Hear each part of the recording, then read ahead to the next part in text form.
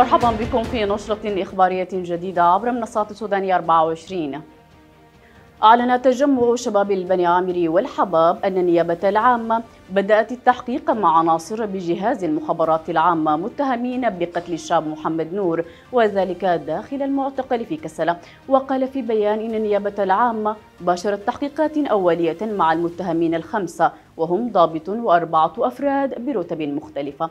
وأشار البيان إلى أن التجمع حضر اجتماع لجنة أمن ولاية كسلة برئاسة الوالي الصادق محمد أزرق والذي خلص إلى تسليم المتهمين إلى النيابة العامة لبدء الإجراءات القانونية مع التأكيد على ضرورة منع تكرار مثل هذه الجرائم مستقبلا. إلى ذلك أعلن المدير التنفيذي لمحلية كسل إدريس محمد علي أعلن احتواء الأزمة وهدوء الأحوال الأمنية بالمدينة مع سير إجراءات العدالة بالأجهزة المختصة. وقال إن السلطات الأمنية والعدلية تعاملت مع الاحتجاجات بمسؤولية عالية حيث تواصلت مع تواصلت مع الإدارة الأهلية ممثلة في نظارة عموم قبائل البني عامر وكل القيادات الأهلية وأمانة الشباب والشباب المحتجين. قال وزير الخارجية السوداني السفير حسين عوض إن حديث ما وصفها بالميليشيا عن اتفاقهم مع جهات دولية لاستخدام مطارات بدارفور مجرد أمنيات وأحلام. مشيرا بحسب صحيفة أصداء سودانية مشيرا إلى أن دخول المجال الجوي واستخدامات واستخدام مطارات الدول له ضوابط صارمة في القانون الدولي وقواعد أمن الطيران. وليست هناك دولة أو منظمة دولية تغامر بتعريض طائراتها وطياريها للخطر بخرق تلك القواعد. وأكد أن هناك سبعة معابر متاحة لإدخال المساعدات بخلاف معبر أدري وأن فتح معبر أدري وفقا لضوابط محددة والتزامات معروفة من قبل كل الأطراف. وإذا ثبت أن هذه الضوابط والالتزامات قد خرقت فسيكون للحكومة موقف آخر.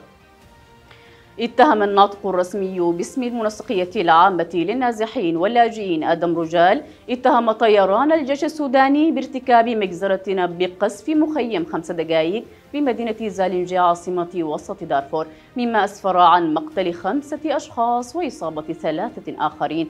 وأدان رجال بشدة القصف الجوي والمدفعي العشوائي المتعمد من قبل أطراف النزاع والذي يستهدف النازحين في المخيمات بدارفور والمواطنين العزل في بقية مناطق السودان. وطالب المجتمع الدولي والأمم المتحدة بالتحرك العاجل لمراقبة الوضع في دارفور والسودان وفرض حظر على الطيران العسكري في دارفور لوقف هذه الانتهاكات الجسيمة لحقوق الإنسان. قالت مصادر موثوقة إن عملية نهب وتهريب واسعة طالت محتويات ومقتنيات متحف السودان القومي الذي يقع تحت دائرة سيطرة قوات الدعم السريع بالخرطوم منذ الأيام الأولى للحرب. وأثبتت صور ملتقطة بالأقمار الصناعية أن شاحنات محملة خرجت بداية العام من داخل المتحف واتجهت نحو الحدود مع دولة جنوب السودان.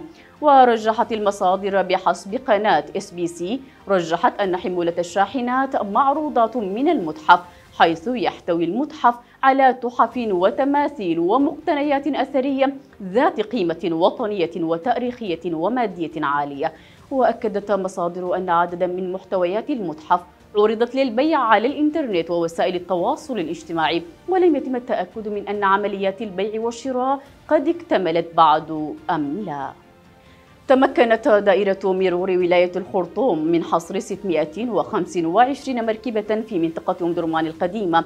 جمعت منها 266 عربة خاصة بالمواطنين بحوش المركبات جوار القسم الأوسط أم درمان وسيتم تسليمها لملاكها بعد إكمال الإجراءات القانونية اللازمة وذلك عبر النيابة. وبعث الناطق الرسمي باسم قوات الشرطة العامة شرطة فتح الرحمن محمد التوم بعث رسالة تطمينية للمواطنين مفادها أن الشرطة وفرت جميع معاملاتها الخدمية عبر افتتاح عدد من مراكز تقديم هذه الخدمات بولاية الخرطوم وأوضح مدير, مدير إدارة العمليات بدائرة مرور ولاية الخرطوم العقيدة شرطة صلاح الخير آدم. أوضح أن عملية الجمع وحصر العربات استهدفت الشوارع والطرقات والأحياء بالمناطق السكنية.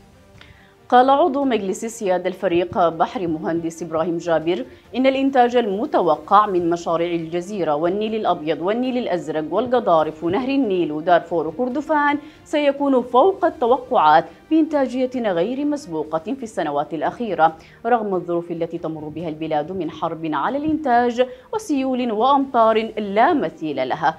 وأشار عقب اجتماع, عقب اجتماع اللجنة العليا لإنجاح الموسم الزراعي إلى أن المساحة المقدرة للزراعة هذا العام تصل إلى 35 مليون فدان موزعة على ولايات الجزيرة 4 ملايين فدان والنيل الأبيض 3 ملايين فدان النيل الأزرق ثلاثة ونصف ملايين فدان ولاية القضارف خمسة ملايين فدان ولاية كسل مليونين ونصف المليون فدان ونهر النيل ستين ألف فدان.